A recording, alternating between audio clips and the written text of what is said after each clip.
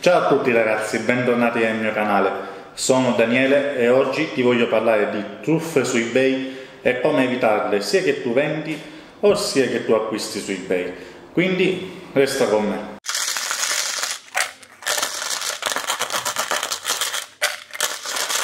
Se non mi conosci, parlo di e-commerce, dropshipping e finanza personale Prima di procedere e a spiegarti come evitare le maggiori truffe su eBay quando vendi o quando acquisti e perché è importante sapere determinate cose, ti chiedo di mettere like al video e iscriverti al canale perché questo è molto importante per l'algoritmo di YouTube e per portarmi a crescere e a farmi conoscere da più persone. Grazie per il tuo aiuto e ora procediamo. Oggi ho deciso di parlare di truffe e di soprattutto truffe su eBay perché è un argomento che ho visto che nessuno tratta, però è molto importante. In, in America l'anno scorso l'e-commerce online ha venduto circa 630 miliardi di dollari. Di questi 630 miliardi di dollari, 13 miliardi sono, sono svaniti nelle truffe, nelle frodi. Eh, se, se ci pensiamo è il 2% più o meno delle vendite totali online, quindi è un dato molto importante e da non trascurare. Se tu vendi online o venderai online eh, su eBay o su qualsiasi altro posto, sicuramente ti capiterà di avere a che fare con i classici frodatori, cioè le persone che cercheranno di truffarti e tenersi l'oggetto gratuitamente o truffarti in altri modi. Questo ti può capitare anche se tu acquisti, se sei, eh, se sei un acquirente e capiti in venditori disonesti.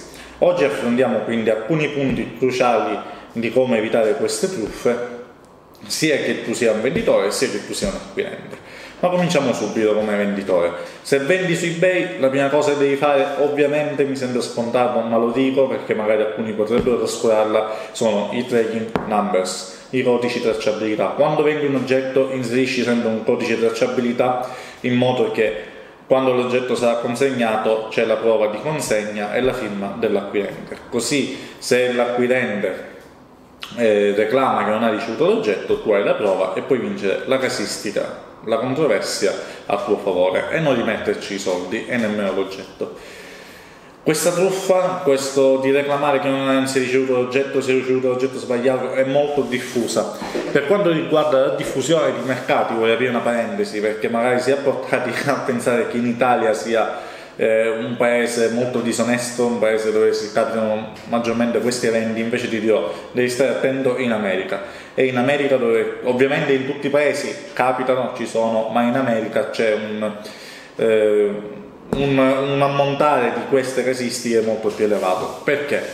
Perché l'America diciamo, è la, la patria dell'e-commerce, la patria del customer care. Eh, il customer care che c'è in America, basta pensare a aziende come Amazon, Walmart, eh, che danno il massimo per soddisfare il cliente, ha portato l'utenza americana ad avere determinati standard di eh, di servizio, di assistenza. Quindi quando questi standard sono così elevati, ovviamente ci saranno le persone pronte a sfruttarli. Quindi in America sono molto più diffuse perché sono abituati ad avere a che fare con grosse multinazionali, con grosse aziende che preferiscono rimettere soldi ma fare contenti sempre i clienti. Quindi inserisci sempre i tracking number. Seconda cosa, quando un acquirente compra da te, e sei un venditore su eBay, guarda sempre i feedback dell'acquirente, controlla le statistiche, controlla se ci sono dati strani come indirizzi, nomi strani, dati che possono sembrare sospetti.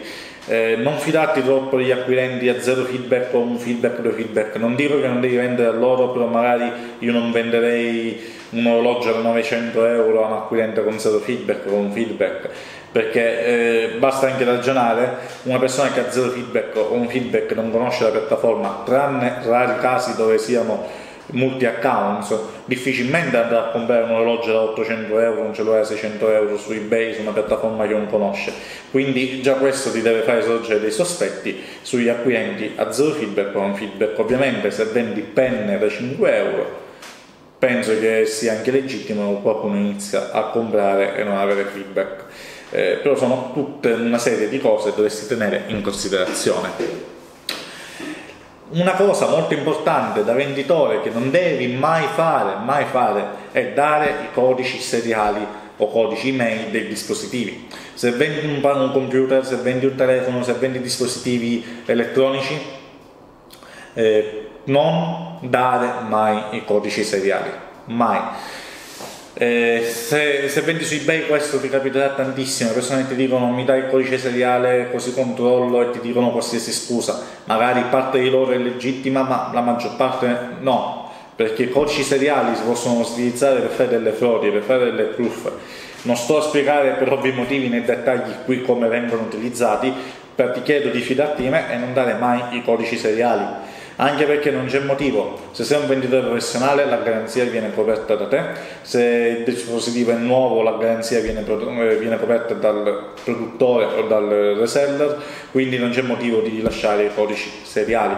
Eh, nemmeno nei negozi fisici trovi i codici seriali, tranne rari casi, ma solitamente sono messi in magazzino e non hai accesso. C'è un motivo. I codici seriali possono essere utilizzati a fine di frode, a fine di truffe, quindi non darli mai. Ultimo punto come venditore, poi passiamo alla parte acquirente, è quello di imparare come gestire i processori di pagamento.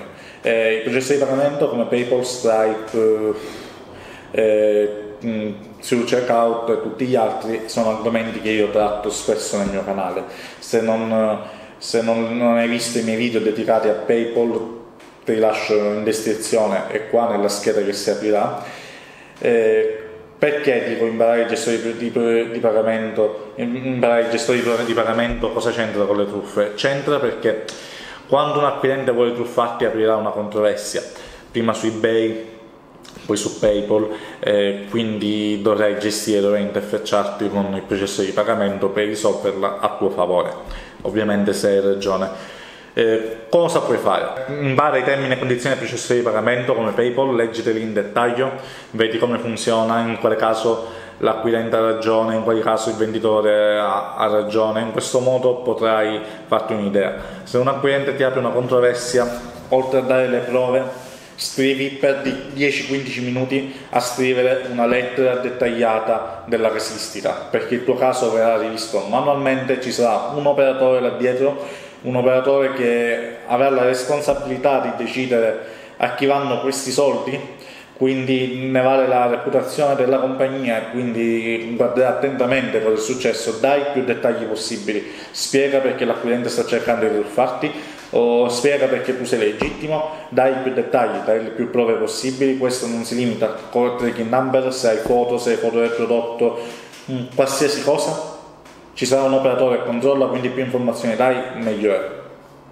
Se vuoi saperne di più sui processori di pagamento mi puoi contattare via email, trovi la mia mail in descrizione, eh, sono sempre disposto, oppure mi puoi contattare su Instagram, trovi tutte le cose in descrizione. Passiamo ora alla parte acquirente. Se acquisti su eBay cosa puoi fare per evitare le truffe? Prima cosa, voglio specificare se l'acquirente è più sicuro rispetto al venditore perché i processi di pagamento delle piattaforme sono eh, più inclini ad aiutare gli acquirenti quindi troveranno sempre delle, delle, soluzioni per te. Alle volte possono anche decidere di rimborsarti loro con la propria tasca quindi dare i soldi al venditore e rimborsarti dal loro, eh, dal loro fondo cassa a te come acquirente. Eh, quindi puoi stare abbastanza tranquillo come acquirente però questo non significa che i venditori non possono truffarti, anche se è più difficile rispetto a qualche anno fa, è ancora possibile. Quindi la prima cosa che puoi fare è controlla sempre i feedback del venditore, assicurati che siano feedback venditori, perché eBay mette i feedback da acquirente e da venditore tutti nella stessa colonna, quindi vai nel dettaglio in base al, alla merce che stai acquistando quanto valore ha fai uno studio approfondito, vai a vedere i feedback, se sono feedback da venditore o da acquirente, perché io posso anche essere un acquirente, fare 80 acquisti inutili e poi fare una vendita, a te risulterà che io ho 80 feedback positivi, ma in realtà sono feedback da acquirente, non da venditore, quindi vedi bene che tipo di feedback sono. Controlla quanta merce ha in vendita, eh, perché ovviamente un venditore con più merce in vendita ha più cioè, ci sono più probabilità che sia un venditore serio, un'azienda seria eh, e sarà meno incline a darti problemi.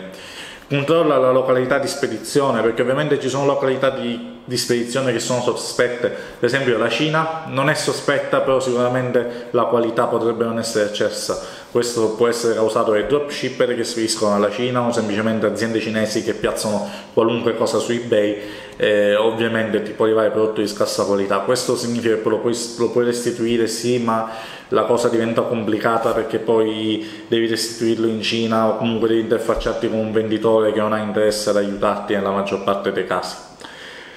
Terza e ultima cosa da acquirente è utilizza i metodi di pagamento a doppia barriera. Cosa vuol dire? Quello che molte persone non sanno qua in Italia perché all'estero è molto più diffuso, sono che le carte di credito, i bancomat, le carte preparate, comunque il circuito Mastercard, Visa, American Express, Diners, eh, JB, tutti i circuiti di pagamento, ti danno una garanzia come cliente, come utilizzatore di carta eh, tu se hai un problema puoi aprire un, si chiama in inglese chargeback oppure in italiano contestazione di pagamento, significa che se io vengo truffato un acquisto illecito o una frode nella carta di credito, io chiamo la America Express, chiamo il mio istituto di credito reclamo, faccio questa contestazione di pagamento e loro indagano e possono rimborsarmi la cifra. Quindi io già quando pago con la carta sono protetto. Per più informazioni vai sul tuo istituto di pagamento, ci saranno i numeri, ci saranno pagine web dedicate. Eh, con doppia barriera intendo quindi utilizzare la carta di credito se possibile, un bancomat, la carta di credito dà più, eh, più protezione e poi utilizzare un processo di pagamento che ti dia altra, altra garanzia al cliente, per esempio PayPal. Quindi invece di utilizzare la carta di credito e metterla direttamente nel checkout, utilizza la carta di credito allegata con PayPal e PayPal allegato con, con eBay. Questo avrai non doppia protezione ma tre protezioni perché avrai assistenza al cliente eBay, quindi se hai un problema apri la contestazione prima di tutto con eBay. Se eBay te la rifiuta ma tu pensi di avere, di avere ragione, puoi aprire la contestazione con PayPal quindi puoi, eh, hai nuova possibilità di, mm, di riavere ciò che è tuo. Se il PayPal non ti aiuta, hai la terza opzione che è aprire la contestazione di pagamento con la carta di credito, con il bancomat o comunque con l'istituto di credito. Questa queste barriere, più barriere aggiungi nel tuo pagamento, più aziende hai che possono aiutarti. Questo è um, molto importante quando acquisti soprattutto certe cifre. Per esempio io se dovessi acquistare 1000 euro di oggetto, di telefono, di orologio, preferirei avere tripla protezione quindi non utilizzare solo la carta di credito magari su un negozio Shopify ma spendere 10 euro in più, 50 euro in più su eBay ma avere la protezione della mia carta di credito, la protezione di PayPal e poi la protezione di eBay questo mi dà molta più sicurezza. Bene ragazzi, spero il mio video abbia dato più informazioni utili possibili, se ti è stato d'aiuto ti invito a mettere like, mettere il pollice in su su YouTube e iscriverti al canale così che possiamo crescere in voglia a fare sempre più video e a darti sempre più informazioni. Grazie per essere rimasto con me anche oggi, ci vediamo al prossimo video, ciao!